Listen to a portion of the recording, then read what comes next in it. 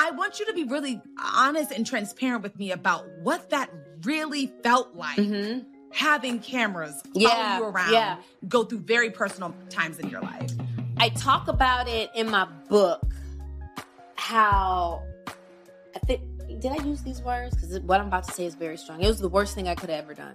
It's mm. in, in my entire 22 year career, that was the worst thing I've ever done in my career. And I mm. and I know the power of words. That was the worst mm. thing I've ever done in my mm. career. Especially when you thought it was going to be one thing. Oof. And then it's turned into another. I'm not going to blame nobody but me because I had that feeling that said, don't do it. But I thought it was just nerves. I thought it was, well, of course you're going to have butterflies when it's it's the, your first time doing something, it's your first time letting cameras in. No, the Holy Spirit mm-hmm. told me not mm-hmm. to do it.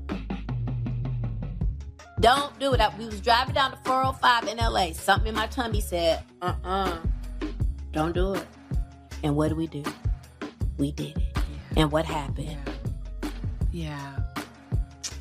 Yeah. Yeah. It just it, it, it can bring undue energy into projects, your relationship. Some people it works for. Some I'll say this.